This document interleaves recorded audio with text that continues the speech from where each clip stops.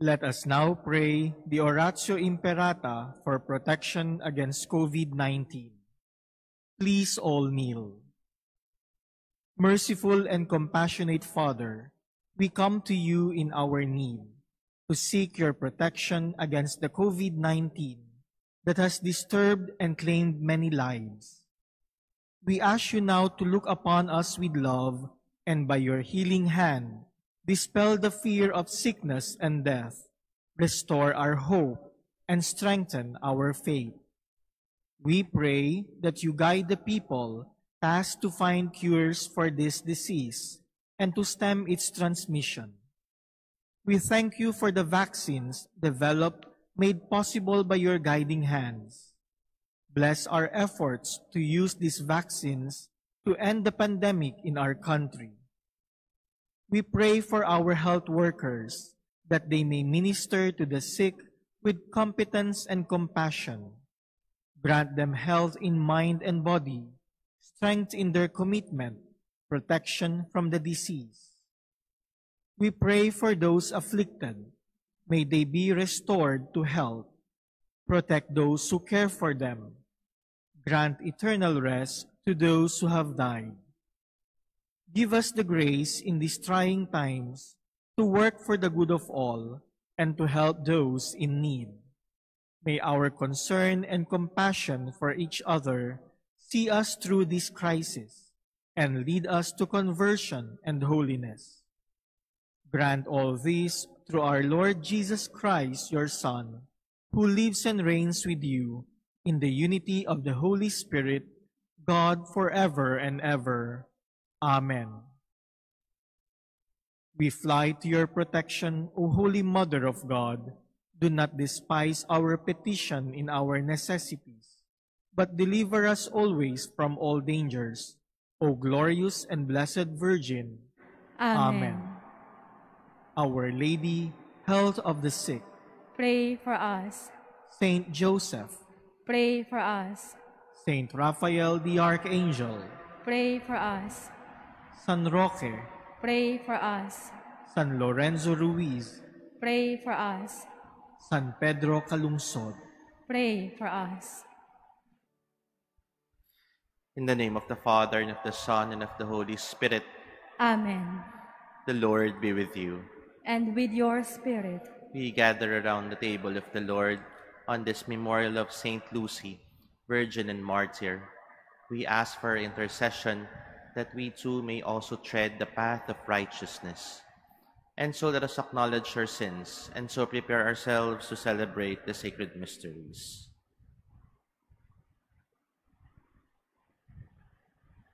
Lord Jesus, you came to gather the nations into the peace of God's kingdom. Lord, have mercy. Lord, have mercy. Lord Jesus, you come in word and sacrament to strengthen us in holiness. Christ, have mercy. Christ, have mercy. Lord Jesus, you will come again in glory with salvation for your people. Lord, have mercy. Lord, have mercy. May Almighty God have mercy on us, forgive us our sins, and bring us to everlasting life. Amen. Let us pray. May, the glorious intercession of the Virgin and Martyr Saint Lucy give us new heart, we pray, O Lord, so that we may celebrate her heavenly birthday in this present age, and so behold things eternal. Through our Lord Jesus Christ, your Son, who lives and reigns with you in the unity of the Holy Spirit, God forever and ever. Amen. Please be seated. A reading from the book of the prophet Zephaniah. Thus says the Lord Woe to the city, rebellious and polluted, to the tyrannical city. She hears no voice, accepts no correction. In the Lord she has not trusted. To her God she has not drawn near. For then I will change and purify the lips of the peoples, that they all may call upon the name of the Lord, to serve him with one accord. From beyond the rivers of Ethiopia, and as far as the recesses of the north, they shall bring me offerings. On that day, you need not be ashamed of all your deeds, your rebellious actions against me. For then will I remove from your midst the proud braggarts, and you shall no longer exalt yourself on my holy mountain.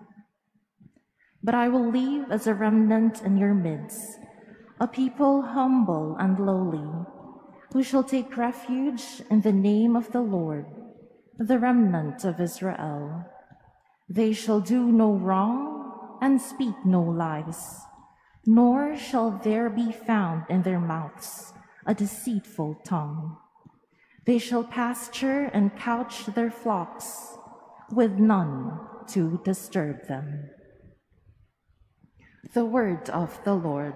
Thanks be to God. The Lord hears the cry of the poor.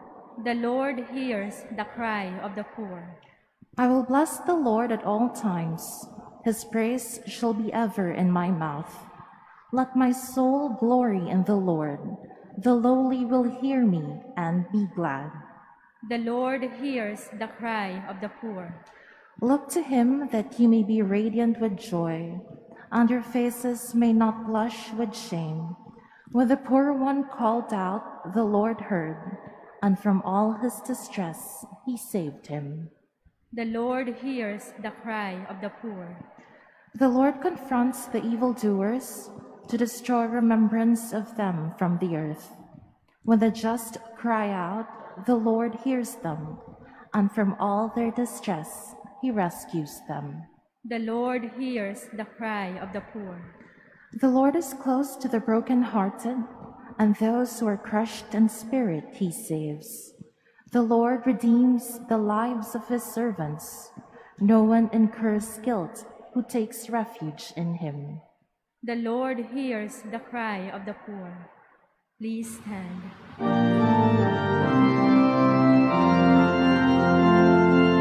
Alleluia, Alleluia,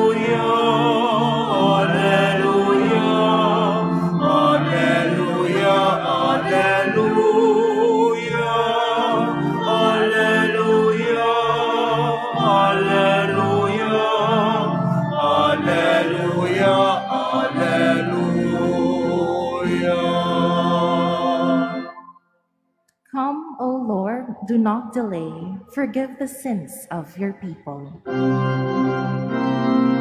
Alleluia, Alleluia,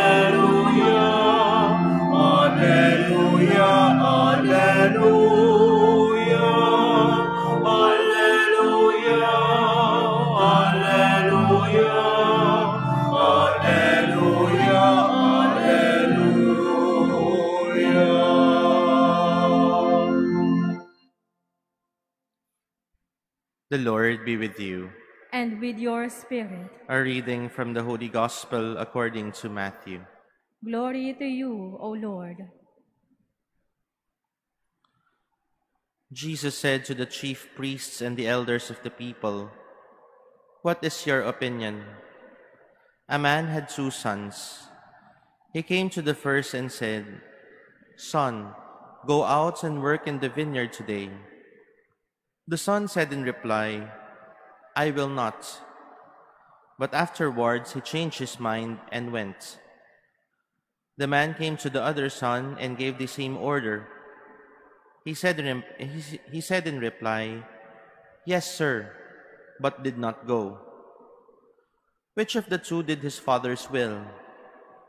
They answered, The first. Jesus said to them, Amen, I say to you, tax collectors and prostitutes are entering the kingdom of God before you.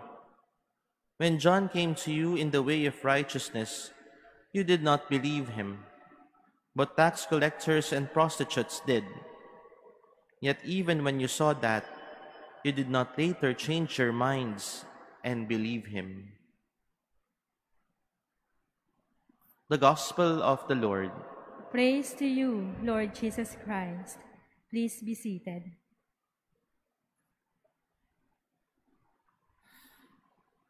The parable that Jesus depicted in our gospel is a perfect description to the saying, actions speak louder than words. But let us not simply look at the parable that Jesus gave. We must also consider to whom Jesus was addressing the parable. He was not simply addressing it to the crowd, nor, we, nor was he addressing it to his disciples. He was asking, he was addressing it to the chief priests and the elders. And if we take into consideration the audience or to whom Jesus was addressing it, we would better understand what Jesus was pointing to. And why was Jesus addressing this parable to the chief priests and the elders? For us to understand what righteousness really means. Two things. First, righteousness would also mean consistency. The chief priests and elders were righteous people. How? They were knowledgeable about the scriptures. They were knowledgeable about the law of Moses. But they do not but they do not truly understand what they know. Alam nila gamit alam nila gamit ng kanilang utak pero hindi naman nila nauunawaan kung ano yung alam nila. Hindi nila nauunawaan kung paano isasabuhay yung alam nila. They simply see it as restrictions. And as long as they follow what should not be done, they feel that they are okay. They focus, they focus too much on what should be avoided, but they fail to live as a human person. Secondly, righteousness must also be accompanied with humility. Masarap yung pakiramdam ng pagiging tama. Minsan pinagdidiinan pa nga natin sa iba, tama ako, mali sila. Tama tayo, mali sila. Para bang sinasabi din natin sa loob, na, sa loob-loob natin, mas okay yung lugar ko dahil ako yung tama. But righteousness is not a license for us to act in such a manner. This was the attitude of the chief priests and the elders. Since they were the ones who were knowledgeable, they felt superior over others. They saw themselves as the better persons. But righteousness is not a, is not a badge for us to lord over the people. Dahil hindi naman lahat ng pagkakataon nasa tama tayo. When we see that we are on the path of righteousness, it is only a means for us to help and to guide.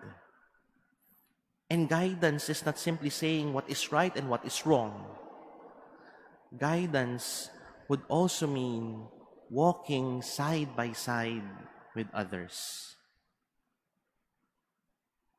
Sometimes righteousness has been painted in a negative manner because it has always been connected with the chief priests and the elders. They are often described as people who are convinced too much of their own righteousness.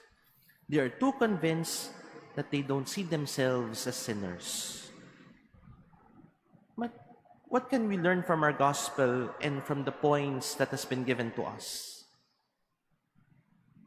Simply put, righteousness is God's desire for all of us. Ayaw naman ng Diyos na malagay tayo sa mali. Yun lang din yung hangad niya para sa atin. Yung mailagay, mailugar yung ating sarili kung saan ang tama. And the standard for and the standard for righteousness is Jesus, not ourselves. That was the flaw of the chief priests and the elders. They have set themselves as the standards for righteousness. But Jesus must always be our standard for righteousness. Why? Because he is consistent with his words and actions, And with this consistency, He is also the perfect guide on the path of righteousness. Sino po ba yung pamantayan natin? Si Jesus ba o yung sarili natin? Dahil kung yung sarili lang natin yung pamantayan natin, lagi lang natin ipagdidiinan na tama tayo. At magiging sarado yung ating sarili sa pakikinig sa iba. Pero kung si Jesus ang pamantayan natin, ibig sabihin, handa pa tayong matuto. Ibig sabihin, handa pa tayong magpagabay.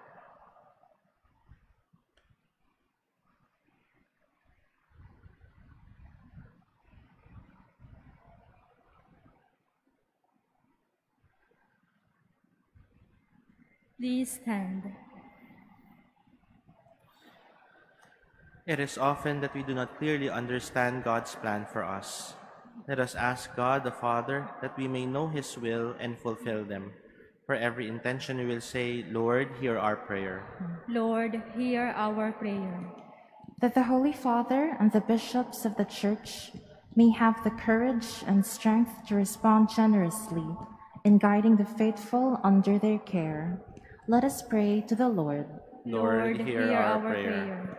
that as a community we may base our lives on the mercy and compassion of Christ and not on pretentious attitude. Let us pray to the Lord Lord, hear our prayer. that in our own lives we may be honest and sincere and respond to the will of God with unquestioning obedience. Let us pray to the Lord Lord, hear our prayer. That the sick and the brokenhearted may experience the love and compassion of Christ in those who take care of them. Let us pray to the Lord Lord, hear our prayer. that the, the dead may experience everlasting joy in God's kingdom. Let us pray to the Lord Lord, hear our prayer. In silence, we lift up to the Lord our personal intentions, and we remember all the people are asking for our prayers and for all the people whom we promise to pray for.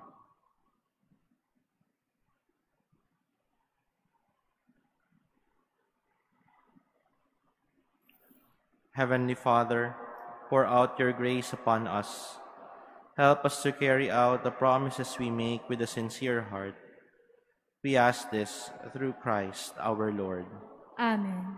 Please be seated.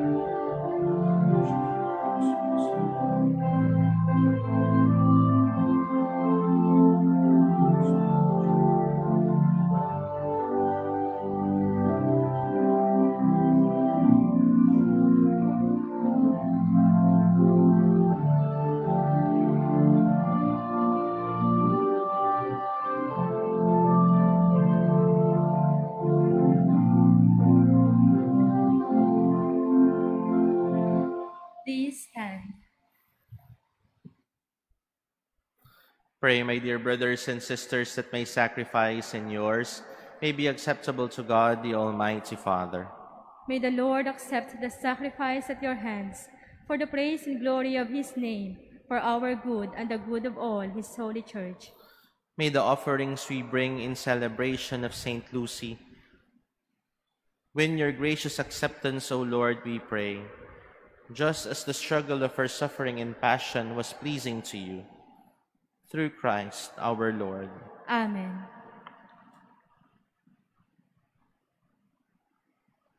The Lord be with you. and with your spirit. Lift up your hearts. We lift them up to the Lord. Let us give thanks to the Lord our God. It is right and just. It is truly right and just, our duty and our salvation, always and everywhere to give you thanks, Lord, Holy Father, Almighty and Eternal God. For the blood of your blessed martyr Lucy, poured out like Christ to glorify your name, shows forth your marvelous works, by which in our weakness you perfect your power, and on the feeble bestow strength to bear you witness through Christ our Lord. And so with the powers of heaven, we worship you constantly on earth, and before your majesty, without end, we acclaim. Holy, holy, holy Lord, God of hosts, heaven and earth are full of your glory. Hosanna in the highest. Blessed is he who comes in the name of the Lord. Hosanna in the highest. Please kneel.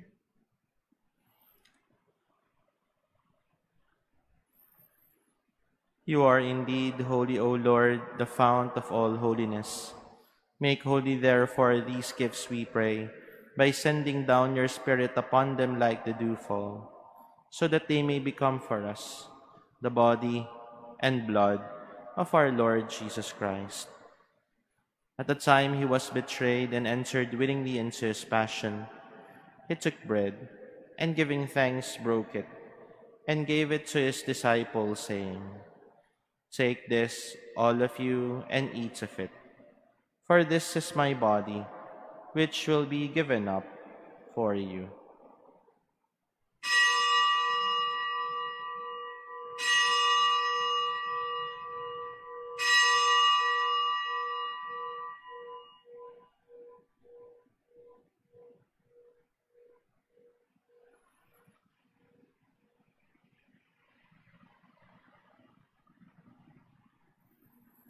In a similar way, when supper was ended, he took the chalice, and once more giving thanks, he gave it to his disciples, saying, Take this, all of you, and drink from it. For this is the chalice of my blood, the blood of the new and eternal covenant, which will be poured out for you and for many, for the forgiveness of sins. Do this in memory of me.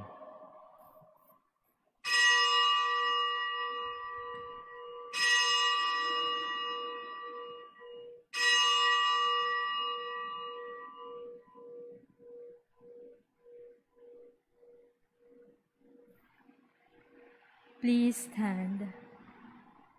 The mystery of faith.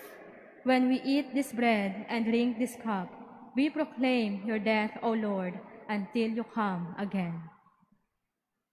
Therefore, as we celebrate the memorial of his death and resurrection, we offer you, Lord, the bread of life and the chalice of salvation, giving thanks that you have held us worthy to be in your presence and minister to you. Humbly we pray that partaking of the body and blood of Christ, we may be gathered into one by the Holy Spirit.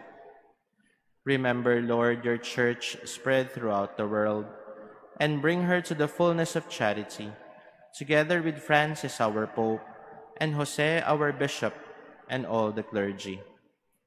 Remember also our brothers and sisters who have fallen asleep in the hope of the resurrection, and all who have died in your mercy. Welcome them into the light of your face. Have mercy on us all, we pray, that with the Blessed Virgin Mary, Mother of God, with blessed Joseph, her spouse, with the blessed apostles, with Saint Lucy, and all the saints who have pleased you throughout the ages, we may merit to be co-heirs to eternal life, and may praise and glorify you through your Son, Jesus Christ. Through him and with him and in him, O God, Almighty Father, in the unity of the Holy Spirit, all glory and honor is yours, forever and ever. Amen. At the Savior's command, informed by divine teaching, we dare to pray. Our Father, who art in heaven, hallowed be thy name. Thy kingdom come, thy will be done on earth as it is in heaven. Give us this day our daily bread, and forgive us our trespasses, as we forgive those who trespass against us. And lead us not into temptation, but deliver us from evil. Deliver us, Lord, we pray, from every evil. Graciously grant peace in our days, that by the help of your mercy we may be always free from sin and safe from all distress, as we await the blessed hope and the coming of our Savior, Jesus Christ. For the kingdom, the power, and the glory are yours, now and forever. Lord Jesus Christ, who said to your apostles, Peace I leave you, my peace I give you. Look not on our sins, but on the faith of your church, and graciously grant her peace and unity in accordance with your will, who live and reign forever and ever. Amen. The peace of the Lord be with you always. And with your spirit. Let us offer each other the sign of peace.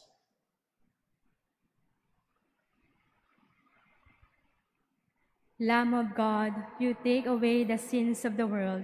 Have mercy on us. Lamb of God, you take away the sins of the world. Have mercy on us.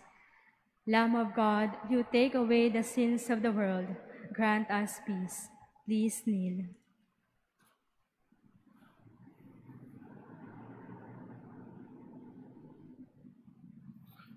Behold Jesus. Behold the Lamb of God. Behold him who takes away the sins of the world. Blessed are those called to the supper of the Lamb. Lord, I am not worthy that you should enter under my roof, but only say the word, and my soul shall be healed. The body of Christ. Amen.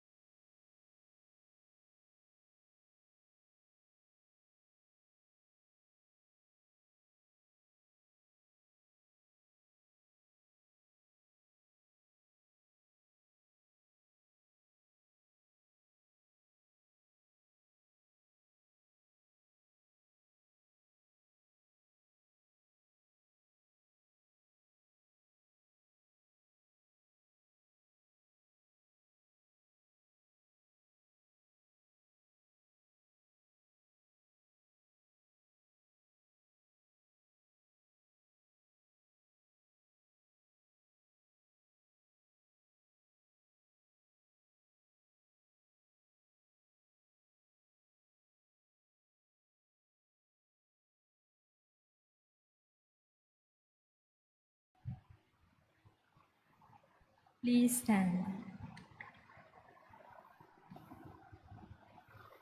Let us pray.